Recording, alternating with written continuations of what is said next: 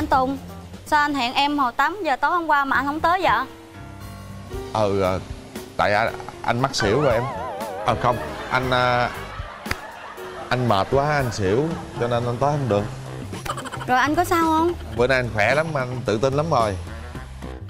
Em nghe Dương với Nam nói á là hôm nay anh có chuyện gì nói với em phải không? Dạ đúng à, à, đúng đúng đúng đúng rồi đó em. À, anh có chuyện ờ, mới mời em ra đây anh à, xin thưa với em là à hương hương ơi. Hương ơi năm năm qua có một người đàn ông yêu đơn phương em. Đêm nào về cũng nghĩ tới em. À, là anh. Anh yêu em. Em làm bạn gái anh nha. Giá như á? Cái lời nói này á Anh nói vào 8 giờ tối hôm qua Thì hay biết mấy. Ủa là sao em?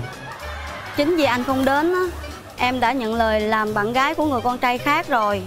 Ủa ủa là là cũng có một người con trai khác yêu, yêu em hả? Ngoài anh ra Còn rất nhiều người con trai khác thầm thương em. Em xin lỗi. Hương à. Hương ơi. Hương ơi hết câu hỏi hả hương hương ơi. Hương. Tiêu có tình năm năm rồi sao vậy? Trời ơi xỉu giờ nào cũng xỉu xỉu đúng ngay 8 giờ mà xỉu nhau cậu trời cười gì nữa? Cười nữa à? Các bạn yên tâm tôi rất là mạnh mẽ. Cười nữa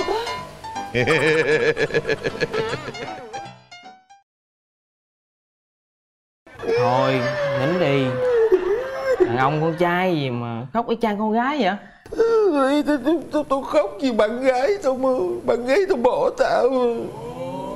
Mày dễ thương nè Duyên dáng nè Có cơ ngơi Có sự nghiệp. Còn được ba mẹ cho nguyên cái nhà to đùng Sợ gì mà không có bồ. Thất tình thôi mà. Sao mày nhắc cái chữ thất tình gì vậy? Thất tình kệ tao nhắc làm tao đau. Thôi Tao biết mày buồn. À Tao có chuẩn bị cho mày một món quà. Bạn tốt là vậy.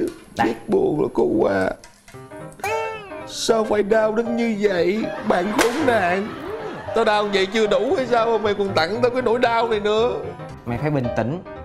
Mình phải biết á Là lấy nỗi đau Chế ngự nỗi đau. Là sao? Thì nỗi đau nó mới qua được Trong cái tập thơ này Có rất là nhiều bài thơ hay. Mày đọc cho tao nghe thử coi. Để tao đọc cho mày nghe một đoạn nha. Hay nha tao đang buồn lắm á. Bản thân sợ nhất là lúc này. Tao sợ lắm. Không muốn nhìn vào đâu nữa Vì có quá nhiều cay đắng.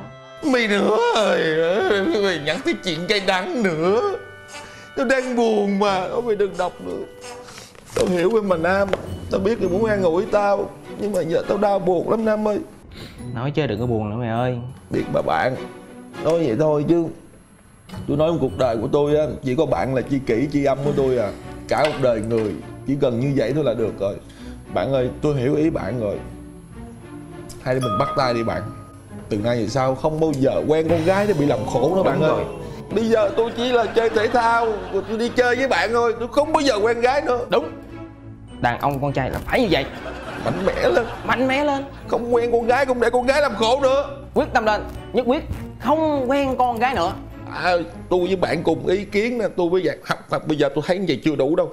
Bạn đợi tôi chút đi. Sao là làm gì? Tôi vô tôi lấy con dao với chim rượu tôi cắt máu bạn tôi cắt máu tôi chích vô đây hai mình. Uống thôi cái. Thôi thôi thôi được Bao nhiêu đây là anh em mình đủ chi kỷ rồi. Được rồi. Anh Nam. Ơ bà dương kìa trời ơi em gọi điện thoại hoài không được má má gì hết trơn vậy? Phải đâu bà dương thấy tôi buồn qua đây ăn ủi tôi á.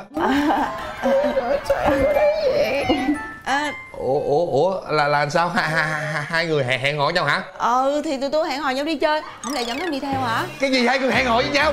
Ừ, không có không có. À, không có. Giờ hết hẹn hò mà là yêu nhau luôn rồi. Cái gì? Hai người yêu nhau? À, nam hồi nãy mày hứa với tôi sao nam? Không bao giờ quen con gái nữa mà nam. À, Trời ơi, đồ phản bội. Tao hận mày Nam ơi Tao nhất quyết không bao giờ tha thứ cho mày.